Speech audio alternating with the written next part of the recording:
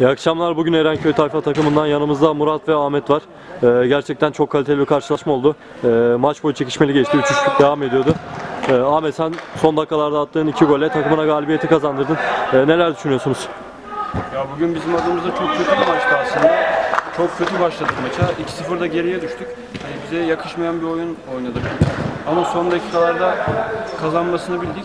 Bugün tek güzel tarafı galip gelmemiz. Sahada çok kötü bir oyun vardı.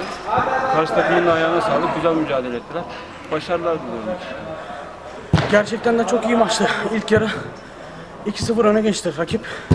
Sonra ma- maçı kopartmasını bildik. Kötü oynayarak kopartmasını bildik. Ay- Arkadaşların da ayaklarına sağlık. Artık playoff'lara hazırız biz. Tebrikler arkadaşlar. İyi akşamlar.